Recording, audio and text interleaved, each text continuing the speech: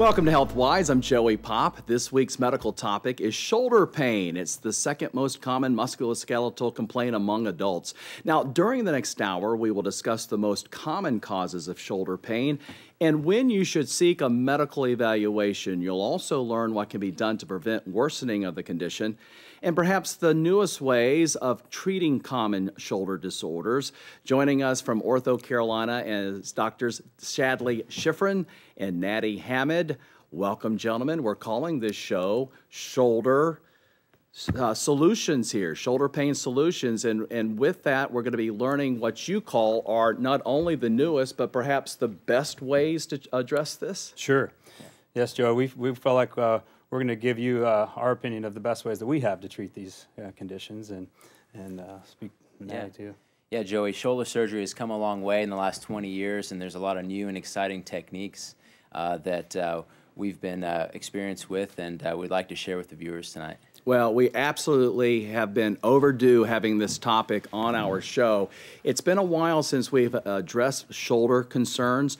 It seems that with Ortho Carolina, colleagues of yours have been on, and we've been talking about the knee. But thank you for being here for the shoulder. Thanks Absolutely. for having us, Joey. You know, and and it hasn't been that long ago when we've been talking about having uh, total reverse uh, total shoulder replacement and you're about to talk today also about reverse shoulder replacement sure so uh, all these new techniques we're going to be addressing. Absolutely. We've uh, shoulder replacements have been around now uh, since the 1970s in their infancy, uh, and we've come miles and miles from from when we first started.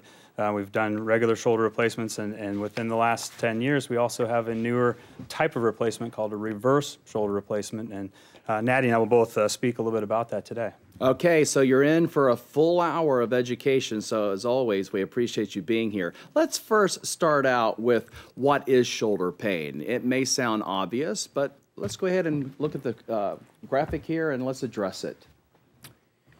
Well, uh, shoulder pain is actually the second most common orthopedic problem that uh, a person will bring to their physician. Uh, it affects both young and old people, and it can lead to time off work, difficulty sleeping due to shoulder pain, and uh, it can ultimately affect someone's overall quality of life. Now, there's a lot of different causes of shoulder pain, and we'll touch on uh, a lot of these uh, during the during the show tonight. The um, the most common probably is rotator cuff disease, and to uh, to understand what a rotator cuff tear or rotator cuff disease is, you have to understand what the rotator cuff is. So what the rotator cuff is, it's a group of uh, four small muscles. We have a model here that surround the shoulder joint. And these muscles start from the shoulder blade and they extend over and, and attach onto the humerus of the ball and socket joint. Now, when you say the humerus, go ahead and give us um, layman terms here. Sure. Well, the shoulder is a ball and socket joint, and at the top of this long arm bone, there's the, uh, the ball part of the mm -hmm. ball and socket. So these muscles surround this joint and attach onto the top of the humerus bone. I understand. Is this because of wear and tear with the body? If, if I throw a baseball or play tennis, am I subject to uh, damaging this? Quite possibly, yeah. With age, all tendons in the body can degenerate over time, they can get thin, and they can be susceptible to tearing. And that's exactly what happens with rotator cuff tears. Uh, so this uh, white part on the model you can see is the tendon portion of the rotator cuff, and this is where we see rotator cuff tears. This next slide addresses just how common this is, and when I was researching the show uh, with you guys, it's just it just really blew my mind here. We're talking about very, very common rotator cuff tears were found in 46% of people 70 and older. 46%, that's high, isn't it? That's right. And that's actually uh, people that did not have any shoulder pain at all. Wow, they didn't even know it. They didn't even know it. Right, right. So we know shoulder, we know rotator cuff tears are extremely common in the general population. Mm -hmm. um, and there's a lot of unanswered questions with rotator cuff disease. As far as the signs and symptoms, if you don't have pain, what do you have? Well, rotator cuff disease can cause weakness. It can cause fatigue in your arm, especially when you're trying to use it for overhead activities. Uh, if you've had a recent injury in your shoulder or you've done a lot of repetitive activities, it can uh, it can certainly aggravate a ongoing shoulder uh, rotator cuff problem. Okay, so it has to be the million dollar question. If I think there's something wrong up here, when is it time to go see a doctor? And that's what this next slide addresses. And let's hear what the experts have to say. Slide number five. Here we go. Well, a lot of people will have uh, pain in their shoulder uh, that comes on, uh, you know, either after uh, an injury or with overuse, uh, and sometimes that pain, you know, may last a couple of weeks. Uh, we usually recommend that people give it a, a couple of weeks' time, mm. maybe do some rest, use some over-the-counter medication, some anti-inflammatories, and see if the body will heal itself. But if the pain is going on for several weeks uh, or the pain seems to be getting worse or there are other associated factors, then it's probably the right time to uh, seek medical attention. You know, we're all nervous about going to the doctor. Are you aware of that? Sure. so we think that if something's wrong, the first thing you guys are going to recommend is, hey, it's time to go under the knife. Sure, sure. Well, actually, uh, you know, we try everything we can uh, to avoid uh, making patients go through surgery. There's, there are a lot of non-surgical treatments that we have for shoulder conditions that work well. Uh, so it depends on the nature of the problem. Mm -hmm. It depends on what the diagnosis is, but uh, certainly there are, are, many, many steps uh, to go through before actually undergoing surgery. Yeah, and I think we're going to be talking about that more a little later as well. Now let's go to the next slide. So how do you diagnose having this rotator cuff? are, what kind of tests are involved? Let's see what they have to say. Dr. Hamid? Well, um, if you see a shoulder specialist, uh, frequently you can diagnose a rotator cuff tear just by talking with the patient and examining them. Uh, plain x-rays can also help give you a hint that there may be a rotator cuff tear. And if you suspect one, there's some more uh, definitive imaging studies you can get, including an MRI or a special CT scan. There's also a, a new type of uh, detection tool that uh, is becoming very popular in the United States, and that's the use of ultrasound. Hmm. And we were talking about the treatments. Let's go to the next slide. The phone bank's already filling up, which that's is great. not a surprise that's to us, great. right? So we're going to take some calls here in a few seconds. But uh, how would you treat such? So let's go ahead and address that in slide number seven. Well, rotator cuff uh, disease uh, is certainly uh, has a, a, number of treatments that are non-operative. Uh, and we usually start with things like uh, sending the patients to work with our physical therapists. The physical therapists are very uh, important in the, the, treatment, both surgically and non-surgically. Mm -hmm. And they'll work on restoring the range of motion back to the shoulder, uh, work on strengthening all of the rotator cuff muscles and all of the other muscles around the shoulder blade, and trying to get patients back to a good level of function. Uh, sometimes when there is pain in the shoulder, uh, a uh, injection into the shoulder and around the rotator cuff with cortisone, which is a steroid medicine, mm. can help decrease inflammation and take away pain. If the non-surgical treatments fail, uh, that's when we start getting into uh, discussions with patients about surgical repairs of rotator cuff disease. All right. Before we go into the surgical um, repair, we're just, let's take a call out of Salisbury. Carla's with us. Hi, Carla. Hey, how are you? Good. What's your question here for the doctors from Ortho Carolina? Okay, my husband's going to have to have the rotator cuff tear surgery, and also he has a bicep tear. And I was wanting to know, since it's going to be about two or three weeks before he can have the surgery, what I can do to help him feel better before that. Like, do I treat it with heat or cold or medicine? Right, and he, is he in pain right now? Oh, he's in a lot of pain. It's hard for him to sleep, like laying right. in a bed, stuff This is like a great question, Carla, and we thank you for calling in and asking this. Who wants to take it? Dr. Hamid? Sure. Dr. Nady sure. Hamid? Carla, the, uh, that, you know, that's a great question. Um, he, uh, there's, there's not uh, many different uh, things you can try, but there are a few that I would definitely recommend. He should definitely take anti-inflammatory medications and ice can also help. Um, but he shouldn't try and overuse his shoulder. Just he should take it easy until he has it fixed with surgery, because that's going to be the definitive thing to actually help his symptoms. But I would definitely take anti-inflammatories, including, you know, if his stomach can uh, withstand ibuprofen, Motrin, Aleve, all those are very good at decreasing the inflammation that he, that he probably has surrounding the rotator cuff. So just keep him comfortable. Just keep him comfortable until he can get it fixed. All okay. right, Carla. Thank, Thank you, you, for much. the thanks for the call. We appreciate that. Let's go ahead and go to slide number eight. Let's let's keep on the topic ro with rotator cuff. Sure. Seems like there's a lot of interest out there for this. So here we are talking about repair, Dr. Uh, Hamid. Yeah. Um, So the rotator cuff, as we've talked about, uh, has a tear in the tendon. So the goal of the surgery is to repair the tendon back down to the bone.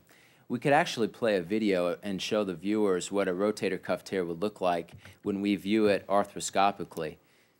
All right, ladies and gentlemen, this is this could be graphic. So if you if this um, bothers you, you may want to turn your head. But what are we seeing? So what you're seeing is a camera that's inside the shoulder joint, and then we have an instrument coming in from another area, and is showing us the tear in the tendon. That's the tear right there. That's the tear. That's the rotator cuff the instrument is on. so the white is all the tendon. That's all tendon. Wow, and that is the whole of the rotator cuff tear. So that's going to be repaired. that is what's going to be repaired, right? Right. So, when you're looking at this, are you looking at a monitor? Do you have like a little camera? Exactly. We have a we have the camera inside the shoulder, and we're looking at a monitor inside the operating room and doing everything through small portal incisions. Right. Fascinating. All right, let's go to slide uh, number 10 if we can. And I believe this is also just a slide of what we just saw with the video. Is that true? This should be a video of the uh, rotator cuff repair. So and I'll- here it comes now. I'll take you through what we do is we freshen the bone edge and we put sutures in the rotator cuff and we have special anchors that go into the bone so we can allow the rotator cuff to be seated back onto the bone again where it belongs. So these are uh, instruments that we have to place sutures into the rotator cuff tendon. Is this like robot surgery? it's kind of like that. It's, um, it's actually very fun surgery. So, How long does it take? um, you know, it can take anywhere from 45 minutes to two hours. And how long did it take you to learn how to do this? I mean, this is such microscopic work here, having to thread the needle and everything. Well, it's kind of like playing a video game, you know. Huh. But it's uh, it's uh, it's actually uh, very fun to do, and uh, but it does take a lot of time and practice. Wow, that's just amazing. So That is this- really So that's the sutures, and that's the rotator cuff. and we saw it come down close together right, right at the there. end, right? So, that's it. okay, so the patient has the procedure. How long does it take for that patient to fully recover? Rotator cuff repairs uh, actually take a, a decent amount of time to get over, and that's one of the things that we try to counsel our patients ahead of time. Uh, typically, we'll have the patient in a sling for about six weeks uh, where they're not doing any use of their arm at all for those six weeks, and that's to allow the tendon to heal. During that time, they'd be doing some physical therapy to, to keep some motion going on in the shoulder, um, but mostly protecting it. Once the sling comes off, then we advance the physical therapy, allow them to start using their arm a little bit more, and then starting to build back strength. But what I tell patients is it's not, a, not unusual to take you know, a good three or four months before they're back doing household, daily activities, and probably closer to uh, six to nine months before they're getting back into recreational activities and sports and things. Just have patience with the rehab, have with the patience. recovery. Have patience, because it does take a while. It's not, it's not a quick recovery process. What's the risk of having the procedure? Dr. Hamid? Yeah, that's uh, that's an important question because whenever you have uh, surgery, uh, the patient should know all the possible risks that they that they could have, and uh, it's important to have a, a frank discussion uh, with your with your surgeon before you undergo any procedures. Um, the risk of having any surgery, there's always a risk, a small risk of bleeding, infection, anesthetic complications, but more specifically with rotator cuff repair, there's risks to having stiffness of the shoulder after surgery. Why is that? Because of the scar tissue? Exactly. Whenever you have surgery, scar tissue is inevitable. It will form. And we have physical therapy, uh, physical therapists we work with that will help uh, move the shoulder after surgery to prevent the scar tissue from being a problem. Now, wait a second. When you say move the shoulder, uh, are you not supposed to keep it perfectly still while it's repairing after the procedure, or do you want a patient to move? We want controlled motion, and uh, there are some movements that are very helpful and avoids and avoid the, the stiffness complication. Uh, but that has to be done very carefully because there's a uh, there's uh, a, a window where you can have good motion, and then if but if you have an excessive amount of motion, you could compromise the rotator cuff repair. yeah. So. So, You have to what is the the, right window? balance. What's the window here? As soon as I go home, uh, I've had my procedure. I'm I'm like this for a bit in a sling, or am I with a physical therapist doing some movement shortly after the procedure?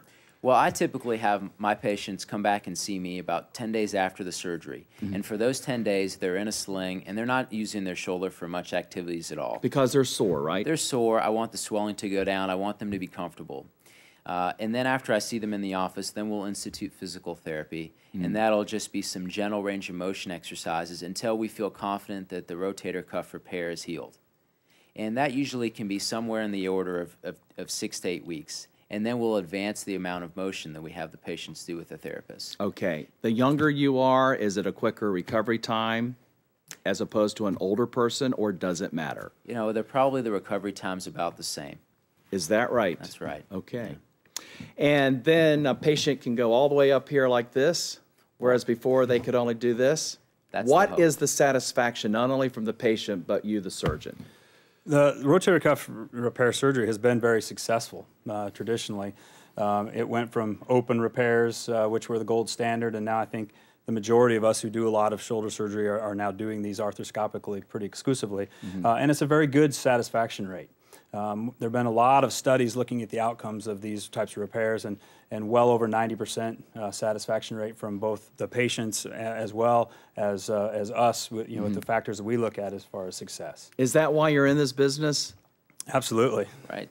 Yeah, and and Dr. Nady Hamid, let's go ahead and make it perfectly clear and let our viewers know that you're you are new to Charlotte. You've actually come back, correct? That's right. Why did That's you right. come back? you left us. I know. Well, I, I couldn't stay away. Yeah. Um, I did my uh, residency training in Charlotte, and then I uh, went to St. Louis at Washington University, where I did a shoulder and elbow fellowship. Right. And so I've just recently returned to Charlotte to uh, uh, come back and uh, you know. Um, um, Raise your family and have a good lifestyle, right? That's right. We're very happy to be back. Okay. Uh, Dr. Schiffern, let's hear a little bit about your background. How long have you been here, and, and why are you here? I've been uh, in the Charlotte area now for uh, almost five years, and uh, the last two years with Ortho Carolina here in Charlotte. Uh, I, I grew up out west actually, and did most of my training out in the, the west. Uh, did a my uh, shoulder fellowship after residency in Dallas, Texas, and uh, and my wife's family is from here around the Charlotte area, so uh, we. We uh, found Charlotte. Uh, we've been out here now five years, and we love it. It's And your wife's also a doctor. She is. Uh, she's a uh, one of the trauma surgeons at Carolina's Medical Center. so Wow. keeps us busy. Oh, I'm sure it does. I'm sure it does. All right, let's go back to uh, the slides if we can, and let's go ahead and, and address shoulder arthritis. Uh, slide number 11. Boy, this is something that uh, we hear of quite a bit, isn't it? So, shoulder arthritis is another one of the most common causes of shoulder pain that we see patients come to see us in the office for. And especially in patients who are over the age of 50, we start to see more shoulder arthritis. And arthritis really is uh, pain which is due to the deterioration of the cartilage surface of the, uh, surfaces of the shoulder joint. Shoulder arthritis is typically more a slowly progressive disease with, with no real known cure, and it can lead to pain, weakness, popping and catching, and stiffness in the shoulder. Next slide. What are these, x-rays? These are uh, two x-rays. Uh, the x-ray on the left uh, showing what a normal shoulder looks like, just like uh, uh, Dr. Hamid was explaining to us, the ball and socket joint. You can see a normal, nice, smooth ball on that left side. Yes. And the socket is right next to it. That's a, a little flat dish. There's a nice dark space between those two bones. And contrast that with the x-ray on the right side, which is an x-ray with severe shoulder arthritis. And what you can see is complete collapse of that space between the ball and the socket to the point where there's bone rubbing against bone in there. So that's what we call that bone on bone contact. There are also large bone spurs. If you look at the very bottom of the ball, there's a large bone spur down there. And those spurs uh, start to, to impinge together, and that can also be a, another reason why patients lose motion as well as get pain with this. uh, And this disease. is totally separate from a from a rotator cuff injury, correct? This is a, it's separate, but there are uh, a lot of cases where there is uh, both arthritis and rotator cuff disease, and that's where the reverse replacement has come in. Ah, which we're going to learn a little bit uh, later on. All right, so let's talk about treatments for shoulder arthritis. The next couple of slides help us with that. Dr. Hamid? So, shoulder arthritis can be treated in a couple different ways. We like to separate treatment options into two general terms being operative and non operative. So, we, we typically start with non operative treatment measures, and that would include the use of anti inflammatory medications, um, corticosteroid injections uh, directed uh, directly into the shoulder joint can also be very helpful to reduce the inflammation. and sometimes physical therapy can be helpful. No, and when you say these uh, these injections, how long do they last as far as helping with the pain, if at all? Yeah, Joey, that's completely variable. Mm-hmm. It can help some patients um, a, a few months, and others it'll help only for a few days. And there's not really any way to tell how much an injection will help a patient. Right, and then is it fair to say some patients don't get relief at all? That's yes, definitely true. And and when you have a patient like that, is it then time to go to the next step?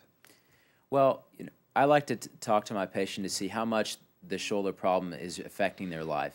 Is it- Quality of life we're talking about. that's what we're talking about. Is it is it disturbing their sleep? Mm-hmm. Are they able to do the things they want to do? Are they able to work? You know, these are things that are very important to people, and if, and these are things that uh, if if you're ha- if these are if your shoulder is affecting these things, it may be time to consider other options. Okay, great. Let's go to the next slide, and here we're talking about total shoulder replacement. Now, why would someone have the total shoulder replacement? Because of the arthritis? because of the uh, arthritis and because of the pain that the arthritis causes. Uh, so shoulder replacement was really developed to, to treat these conditions uh, like the x-ray on the left where there's just no cartilage left and it's bone completely rubbing against bone. And so what we do in shoulder replacement is actually to take off the very top of the ball uh, from the ball and socket joint and replace that with a metal ball and replace the socket cartilage with a plastic socket. And we actually have a, a little uh, demonstration Yes, bring that up here and let's take sample a of look. what this looks like. Is that titanium? The, the stem that goes down inside the humerus bone is usually titanium, uh, and most of these heads are made out of a cobalt chrome material. Okay, explain to us why the materials are what they are. The, uh, the, the, titan- the reason the titanium uh, is that it's closer to the modulus of bone, so it, it Ah. fits well down in the bone. The body likes it well. And the body accepts that. body accepts it well. The cobalt chrome uh, is able to give a nice smooth finish, and it, it uh, fits well within the, the plastic uh, socket. so that is actually down into the bones, this is this goes down into the bone, into the arm bone. right? Uh, and then on the socket side, we, we flatten off the patient's own socket. And we have devices that prepare the bone. And then this plastic socket piece, get a good picture of it, Right. is actually cemented into the bone. And so when the shoulder, when they're coupled together, they end up looking like this, with the ball being able to, to glide smoothly on that socket. And so it, it gives the patient back a nice smooth range of motion. It takes away the pain from the arthritis, and it allows them to get back to a, a good functioning shoulder. Is it fair to say that the arthritis is gone? It is. Once we put the once we take out the, the surfaces of, of the joint, the arthritis is by definition gone. We've gotten rid of that joint. What's the chance for the other shoulder to go bad if one has? Dr. Hamid, you want to address that? Yeah, with both rotator cuff uh, disease and with shoulder arthritis, it's very common for someone to have the same disease process going on on the other shoulder. And uh, it may not ever be a problem for the patient. They may live the rest of their life without ever having to uh, seek medical attention for that. But when we have investigated that closely, usually there's signs that there is the same disease going on on the other side, albeit maybe not quite as bad. And are there uh, are there times when you would actually do both shoulders at the same time, or is it a separate procedure? Uh, it's it's a little different than we know in some cases that but patients will elect to do knee procedure things at the same time, both sides. Oh, is that right? With with the upper extremity, it's much more difficult, and you think of all the daily activities of you know hygiene and things you have to to, do to handle. If both arms were in a sling, it's almost impossible for people to, to function. And so we Right. typically uh, pick uh, which shoulder bothers them the worst, take care of that one first, let it recover enough that then it can be functional and can take care of uh, daily activities before moving on to the other side. So, with the rotator cuff procedure and the recovery, is it is it similar to the total shoulder replacement, or is it more even more so? No, actually, it's pretty similar to, to the recovery from a rotator cuff. Um, and I know uh, different colleagues of mine, uh, we, we manage patients post-operatively different as far as how long do we keep them in a sling, how long are they in physical therapy. Um, but again, most patients within a good three to four months are back functioning, doing daily activities, using their arm. Uh, for anybody who does recreational activities, uh, playing golf or tennis, um, or you know just things that are a little more physical, is probably more like six months minimum for that time. You know, six months really does sound like a short period of time. Um, are there patients who require even more so? Absolutely. Uh, it is not uncommon for, for recovery from one of these procedures to ultimately take as long as a year. Um, and, and I tell my patients that before surgery that um, expect that you're still going to probably be recovering a year into it, Right. and in some cases probably even longer. Patience. Patience is the key, is what I'm hearing from the docs. All right, we're going back to Salisbury. We're popular in Rowan County. Excellent. We have Beatrice this time. Hi, Beatrice. Yes. Hi, what's your question for Dr. Hamid and Dr. Schiffern? Okay, I had my rotary cuff replaced probably about uh, six, about maybe about six years ago. Okay. And for the last six months, it it been I can't hardly raise my arm. It, it been like like it's in a knot or something like that. It's constant pain. I can't hardly sleep. They did. They supposedly did it on my right one, but when they X-rayed me, my left one was worse. So they just did one of them.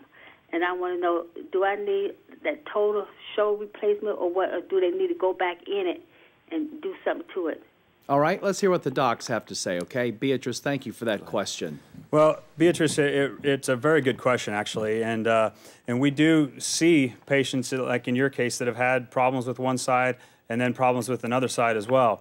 Um, it all depends on what the quality of that rotator cuff tendon and muscle are, as far as what is the best option for your shoulder.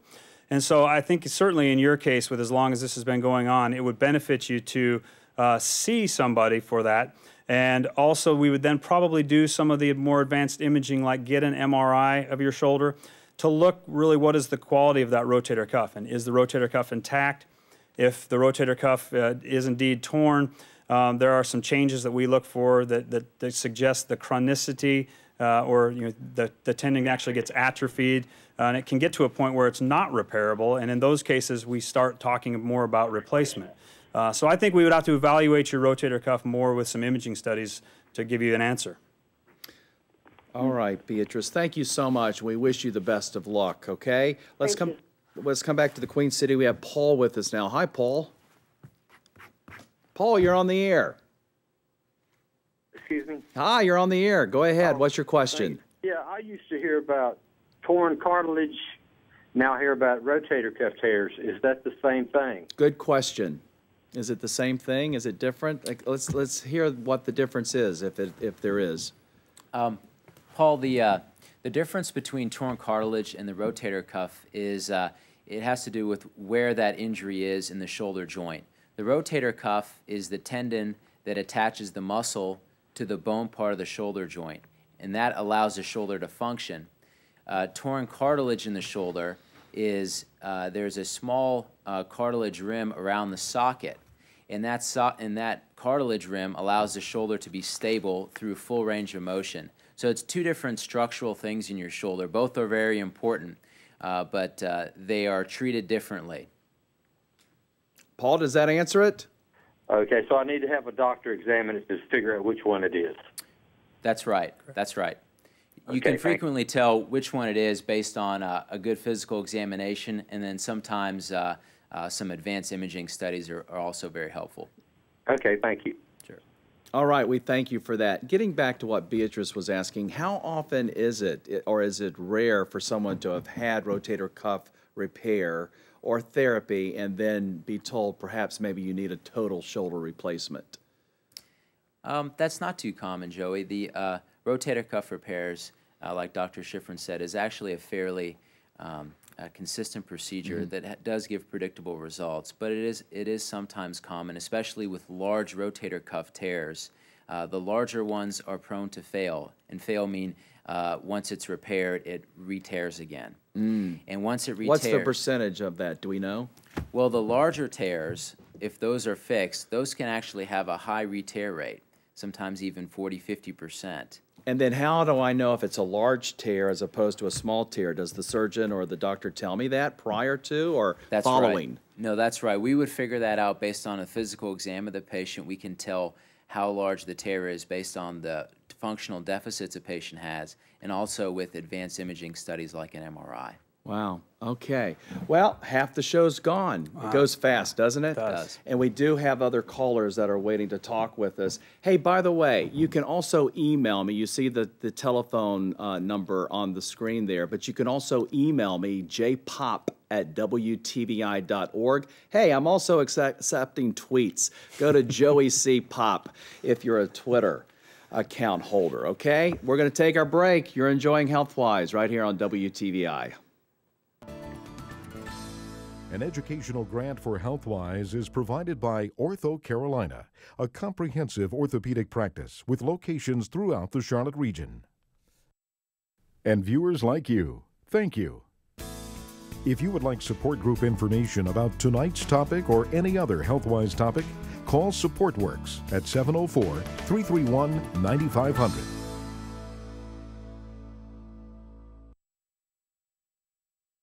Nady Hamid of Ortho Carolina. Join us by calling or emailing questions for the next few minutes because the next 25 minutes will fly by, and we thank you so much for being here. Okay, callers are waiting, but we want to address the next issue here reverse shoulder replacement. Let's go ahead and go to that slide if we can. Now, what is this compared to the total shoulder replacement? What, what do you mean by reverse?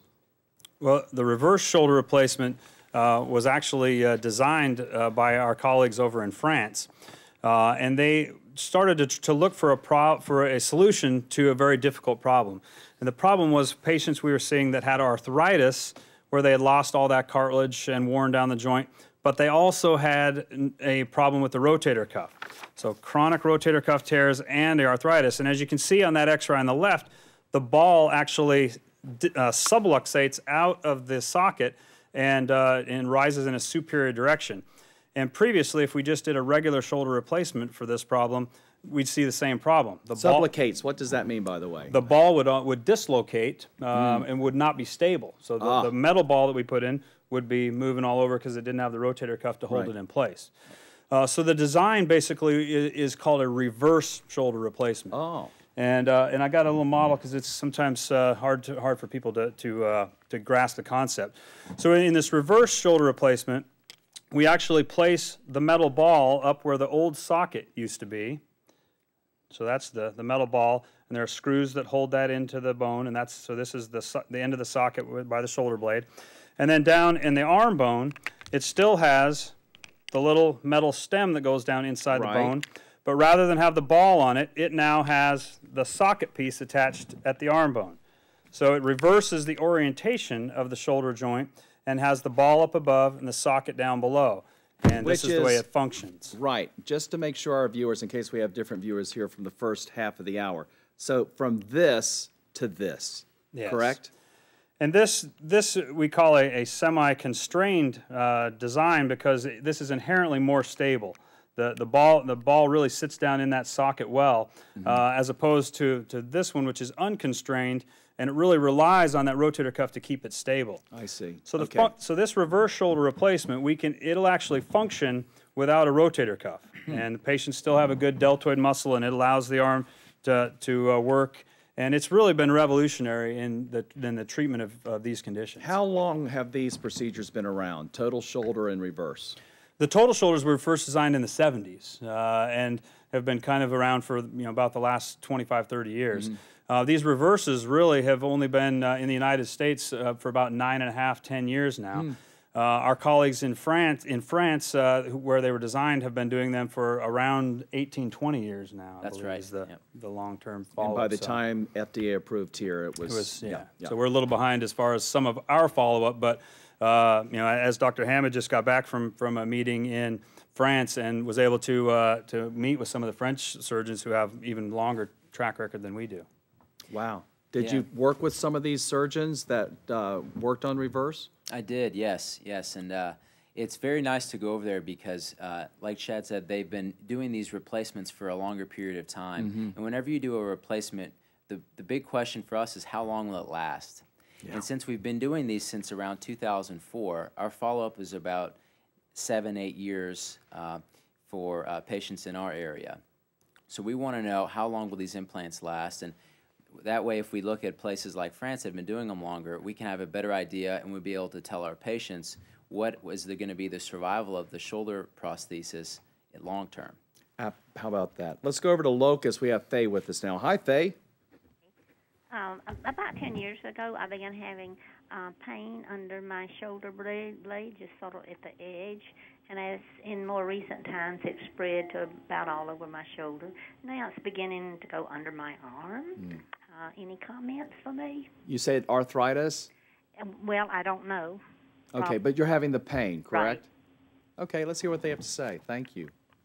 So, Faye, uh, sometimes pain uh, around the shoulder blade can be coming from uh, from different areas. And so anytime we see patients that have pain around that shoulder blade, it's really important for us to get a good physical examination. Uh, there are, are, other conditions besides arthritis in the shoulder or besides rotator cuff disease that can cause that pain around the shoulder blade and sometimes the pain that goes down the arm. And there is a lot of crossover between uh, neck related issues um, people can get, you know, some arthritis in the neck or some pressure on the nerves, and then those can come down around the shoulder blade and down around the arm. So I think especially in a, in a condition like pain around the shoulder blade, it's very important uh, that we examine your shoulder uh, to start the process. Thank you. Okay, Faye, hey, I'm taking a tweet. Let's go ahead. This is a first for HealthWise. We're just starting this, guys. I'm getting a tweet from, uh, I think, um, let's see, Mason. Uh, my husband had replacement, and now shoulder has frozen. What to do? Hmm. Who wants to take it? Yeah, that's uh, has had a replacement, and now the shoulder is frozen. Yeah, yeah, that's uh, that's a very tough problem, actually, Joey. The uh, like we talked about earlier, uh, getting the shoulder moving after a shoulder replacement is essential.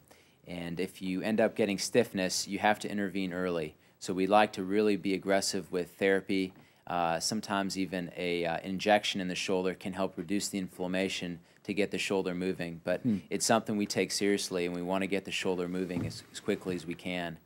So. And and could that be because of the scar tissue? And is there a is there therapy that the cracking can actually be loosened?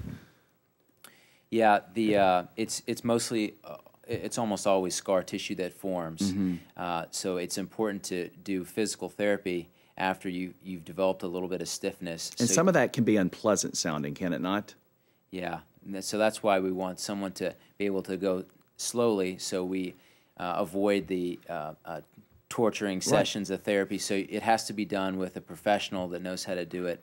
And so the patient won't be in that much discomfort as right. they improve their motion. And if it is done properly, it can be rewarding. Absolutely. Because it does bring out the, the movement that needs to be done, correct? Yes. That's yes. all part Absolutely. of the of the recovery, the therapy, as I understand it. All right, now another big part of this show, we wanted to address arthroplasty. And Dr. Uh, Schiffern's going to help us with that. So let's go to slide number 18. And it was a doctor who helped with this innovation, correct? A Dr. Neer? Yes. Uh, when we talk about shoulder replacement surgery, uh, we're, we're really talking about shoulder arthroplasty. And, and so, so arthroplasty really means um, replacement of the joint. Uh, and Dr. Neer was uh, a very famous shoulder surgeon up at uh, Columbia Presbyterian Hospital in New York City.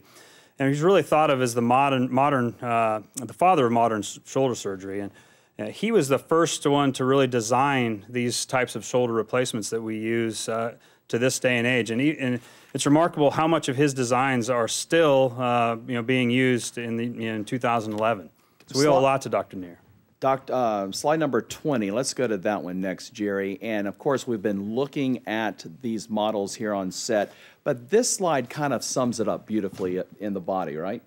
Absolutely. So this is a very, very nice slide with, with both of the designs side by side.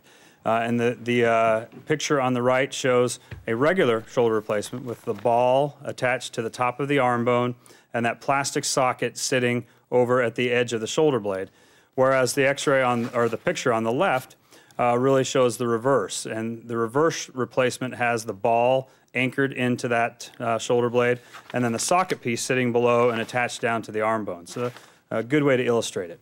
Slide number 22, the different designs. Um, this gives you an idea of the close-ups, especially with the screws. That actually goes right in, right? Absolutely. So um, obviously there have been a lot of advances uh, since Dr. Neer's uh, initial early designs, and a lot of these are now what we call modular. uh, meaning that we, uh, our goal is to try and make that shoulder as close to the patient's normal anatomy as we can. So there are different sizes of the ball, uh, there are different offsets of the ball. Uh, there are different designs of the socket. Uh, so the socket can either be done with what we call a keel or, uh, or has three pegs uh, for fixation into the bone. Uh, so there's a lot of different options that we as the surgeons have available to us, and it's nice for us to have a, you know, a, multitude of options when we get into surgery so we can try and match that uh, to each patient individually.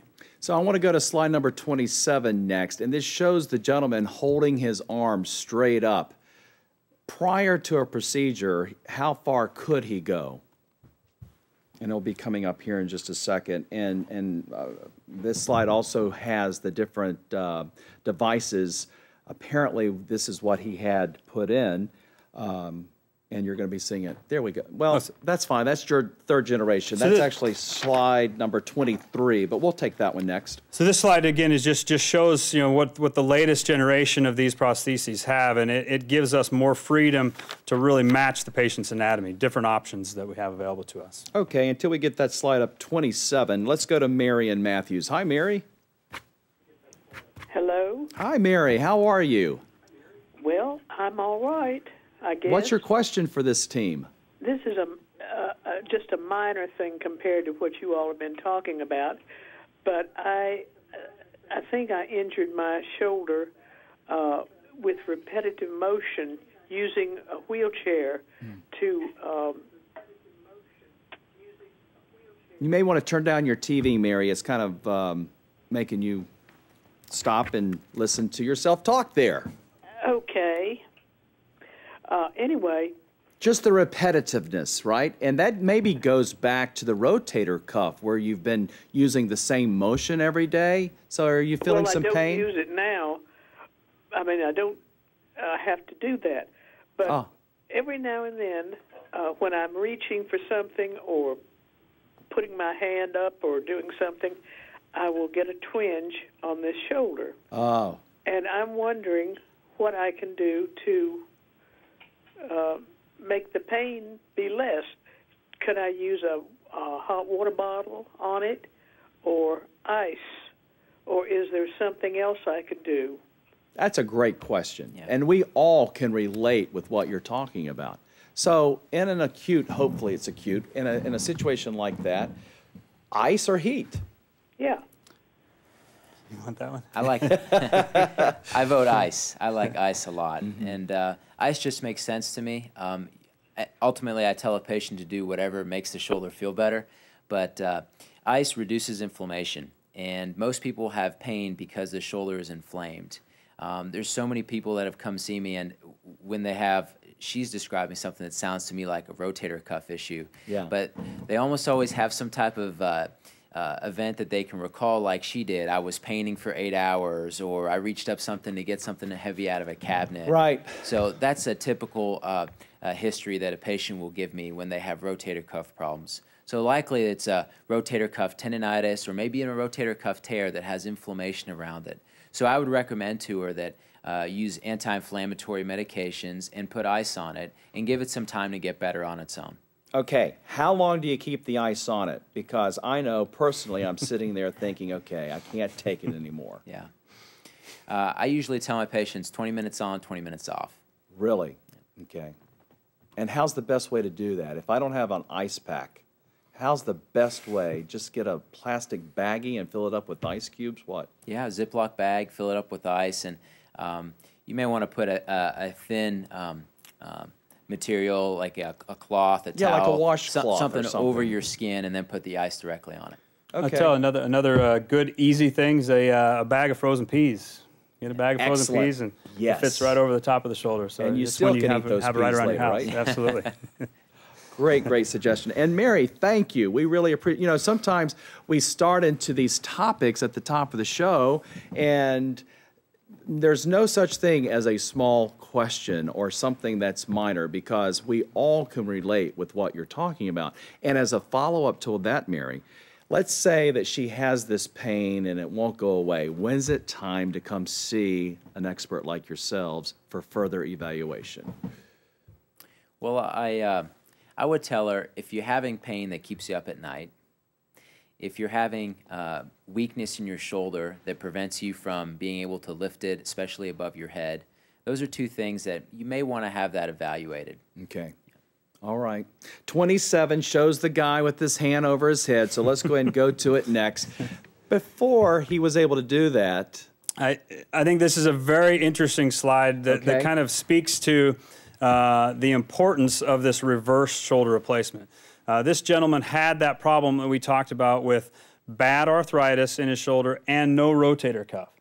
And so he had his right shoulder done first in the era before the reverse replacement was available. And you can see his X-ray on the right. They did a nice job. He's got a nice metal ball in there. The, the uh, everything's lined up nicely. But because he does not have a functioning rotator cuff, he's not able to still raise his arm above his head. Um, he had the same problem on the left side, and so when it came time to have the left side done, is when he had uh, the reverse replacement put in, and you can see obviously the different, the dramatic difference in the functional result that he got from the reverse uh, as opposed to the uh, primary replacement. how will I know which, which kind I need? The surgeon will determine that? Absolutely. That's something that, that your surgeon will have to evaluate, and uh, based on your physical examination, uh, based on your imaging studies, um, your x rays, your MRI scans, we'll know that ahead of time going into the operation. Okay, so let's make sure, let's get a little summary of what we've been talking about here.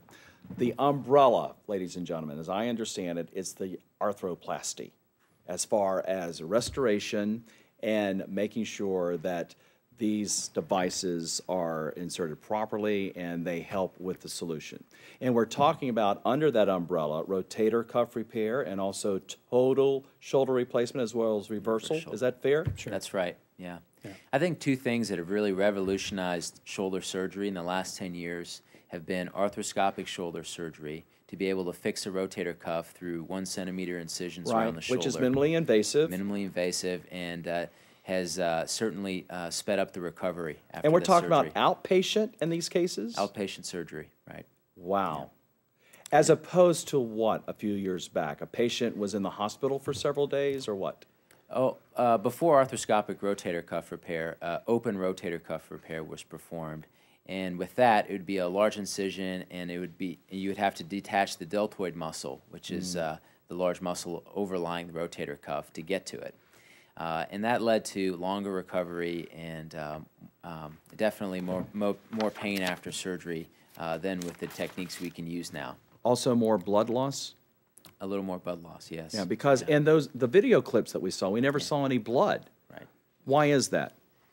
Well, when you can uh, use arthroscopic uh, instruments, uh, you can do so without making large incisions. And so you can just use uh, water inside the joint to be able to see everything you need. So there's very little blood loss, if any, during those surgeries. Okay, for our newer viewers that are checking in with us, we've been talking about the latest advances, and this next slide uh, is number 28. We've been talking a little bit about these, but let's go ahead and uh, spend some more time on it here uh, with the slides. What are we looking at? So these, uh, th- this slide shows some of the, the particular latest advances that we've had in, in shoulder replacement. And uh, that is uh, some designs on the actual metal itself uh, to allow these prostheses to be put into the bone without cement. And so uh, we like to be able to, you know, just, you know, we have instruments that, that basically machine the inside of the bone and then put the, the metal prosthesis right down in the bone and for that to fit solidly and for the bone to grow into that metal. So these, uh, these metal uh, finishes are very are porous. They almost uh, they try to recreate what the structure of the bone looks like, and they allow the bone from the patient to grow into that prosthesis for stability. And it allows us to do these operations without having to use cement in certain cases. And then the next slide, the short, the short stems. And this is a, thing? this is just another uh, another advance that we've had is is being able to to to take you know less affect less of the patient's bone uh, when we're using these prostheses. And so uh, that when we use a shorter stem, it obviously means you have you have less metal that has to go down inside the patient's bone Compared to this on compared set? to this one. Huh. So, Um, so those short stems uh, we, uh, preserve some more of the patient's uh, bone, uh, and obviously are, are go in a little bit easier for us. and how recent are these advances? Uh, those advances are, are things that have been coming over the, just the last uh, two or three years. Is that right? Yeah. And Some of the, the early follow up on, especially the, the one that the really is, is, I think, is still being studied is using the, the socket piece, that plastic piece, without cement. Uh, that's still one that not everybody is doing, uh, and we're, we're still trying to find out. Is it going to be the right answer for everyone? Okay, so what kind of feedback are we getting? You know, a few years back, we heard that uh, there were some complications with hip replacements. Uh, Are we getting any complaints with shoulder? Uh, you know, thank goodness, knock on wood, we, we've not had any issues like those Mm-hmm. recalls uh, with the shoulder.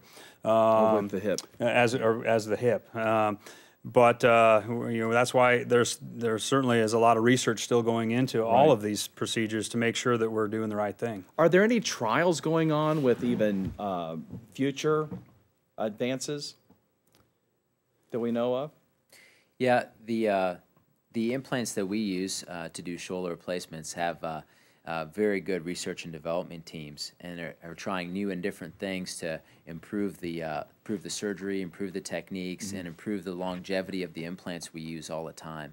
Like, did you see any of this in France when you were over there? Yes, absolutely, absolutely.